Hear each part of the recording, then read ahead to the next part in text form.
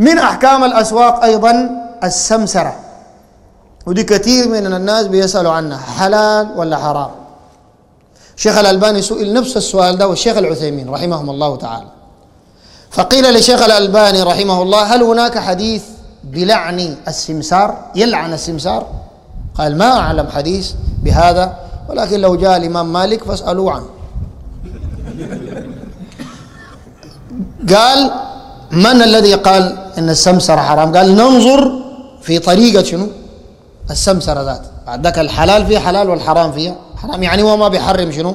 السمسرة لكن فيها تفصيل. وكذلك الشيخ العثيمين ويقسم السماسرة إلى ثلاثة أنواع في البيع. ما ده البايع وده المشتري وفي النص شنو؟ سمسار مرات بيجيب بالجنبة. ده السمسار ده على ثلاثة أحوال في البيع. الحال الأول إنه يكون مشهور. أو دي مهنته يعني إنه سمسار فله أجر المثل. له أجر شنو يا جماعة؟ المثل. إذا مثلا سمسار باع وطأ بده كم؟ معروف في السوق مثلا. عمولته كم؟ خمسة عشرة. المهم وقدر كيف وسعيره كيف. ناس السوق متعارفين على أشياء. فيدوا أجر شنو المثل؟ حتى لو ما قال أنا داير قدر كده يدوا أجر المثل. الحالة الثانية إنه يكون متكلم من الأول.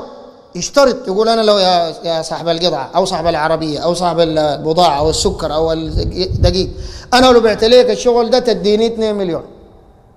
موافق؟ موافق. ده طبعا لا شك في جوازه والتا... والأول لا شك في جوازه الثالث إنه ما يكون معروف إنه سمسار لكن داير يتوسط بين اثنين وداير له حاجة لكن ما اشترط.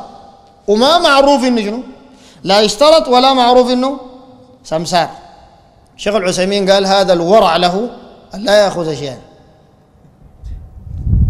ليه؟ لأنه لو أخذ شيء من ده أو من ده هم ما عارف إنه ده سمسار.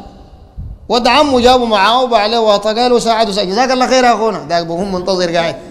فده ما عارف إنه دار يأخذ. ده إذا أدوه بعد ذاك أو أصر بعد ذاك وما اشترط من الأول وما معروف إنه سمسار أصلا. فده قالوا ربما يدخل في الحديث حديث النبي صلى الله عليه وسلم لا يحل مال امرئ مسلم إلا بطيب نفس منه.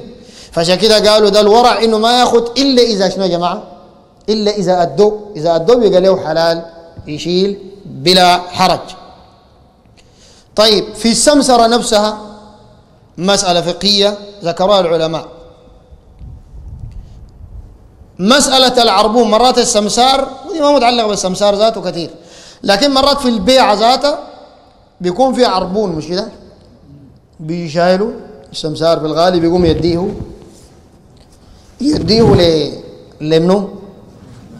للبايع. وعندنا الآن عرف في السوق إنه إذا البيعة تمت بيجي المشتري يتم فوق سعر العربون. إذا. إذا البيعة ب 110 سعر السلعة دي. والعربون كان 10 إذا البيعة تمت بيجي المشتري بيدفع 100 طوالي. لأنه أصلا العشرة اتدفعت خلاص بيحسبوا له 110 في العقد صح؟ إذا ما تمت بيقوم العشرة دي مالها بيشيلوها. ما بترجع بيشيلوها صح؟ الشيخ العثيمين قال اختلفوا العلماء على قولين في المسألة دي. قال والراجح الراجح إنه لو شالوها وكان ده الاتفاق ما في مشكلة لأنه يدخل في جملة العقود أوفوا بالعقود. ما ما فيه حرج ما فيه مشكلة. أيوة. دي مسألة في سمسرة مهمة. أحيانا السمسار ما عنده السلعة. لكن عارف سعر السوق بكم يقوم يجي زول يلاقي السمسار ده قاعد في ترابيزة نظيفة كده يقول له اسمع داير لي مثلا 10 طن أسمنتي. ولا أيوه موجود وهو ما عنده. لكنه عارف السعر بكم لأنه يومي قاعد في السوق وزول سوق. يقول لي مثلا السعر بكده 1200 مثلا يعني. يقوم يقبض منه القروش يعدها. كأنه عنده في المخزن قاعدة. يمشي لجاره يا دوب يشتري منه ب 1100 وياخذ شنو؟ أو ب 1000 ياخذ ال 200 في كل طن في جيبه هل دي حلال ولا حرام؟ حرام. حرام. أفتوا فيها علماءنا. ومن قبلهم أفتى فيها رسول الله صلى الله عليه وسلم. حديث البخاري. حديث حكيم ابن حزام رضي الله عنه وأرضاه. قال يا رسول الله إن أحدهم يأتيني يريد السلعة. وليست عندي. فأبيعها له ثم أذهب فأشتريها. مش هو نفس الموضوع؟ هو ده نص الحديث بالمناسبة.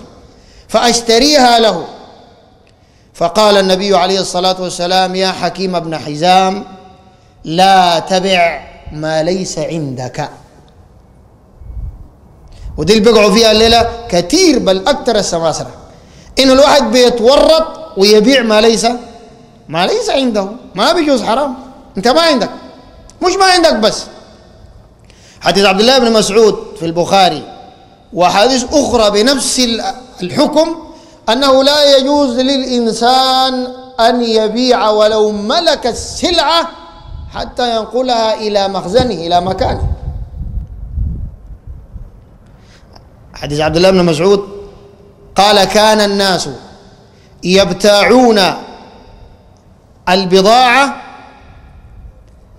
في يبتاعون البضاعة يبتاعون يعني يشترون يعني البضاعة من التجار فيبيعونها في محلها فنهاهم النبي صلى الله عليه وسلم عن ذلك إلا أن ينقلوها إلى رحالهم يعني أماكنهم يعني فما بيجوز.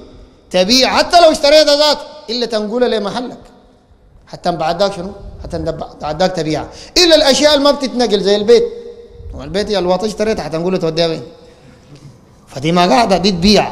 لكن اشتريت من زول سكر اشتريت من زول دقيق اشتريت من زول جداد. خلاص تنقله محلك بعد ذاك شنو؟ بعد ذاك تبيعه. ده الحكم الشرعي كده. لأنه في ناس الآن بيبيعوا ورق ساكت. اشتري من ده يزن يمشي يبيع على الليزن يشتري والمقصد تلقاه فاضي أصلا من الأول. ويبيع على الليزن لذاك ويبيع على الليزن لذاك بعد ذاك يجي يقبضه كله. عشان كده النبي صلى الله عليه وسلم لما حرم هذه الأشياء يا جماعة لمصلحتك أنت. لمصلحتك أنت. من الصور الموجودة الآن الربا الحاصل. ذكر الشيخ أبو بكر منه أجزاء. يبيعوا القروش بقروش بزيادة ويجي يقول لك اكتب لك شيك. ب 100 دخله في حسابك لكن اديني 80 كاش أو 90 كاش ده كله من الربا. والربا يا جماعة النبي صلى الله عليه وسلم قال دينار واحد من الربا أشد من أن يزني الرجل 36 زنية. وقال الربا 72 في رواية 73 باب نوع. أعلاها أدناها قال أقل نوع من ال 73 من الربا أقل نوع. جريمته زي شنو؟ مثل أن يزني الرجل بأمه علانية في قارعة الطريق. القارعة هو نص الطريق القارعة ما بالطرف. يزني بأمه وفي نص الطريق وأمام الناس. ده أقل نوع من الربا زي ده يبقى على كيف؟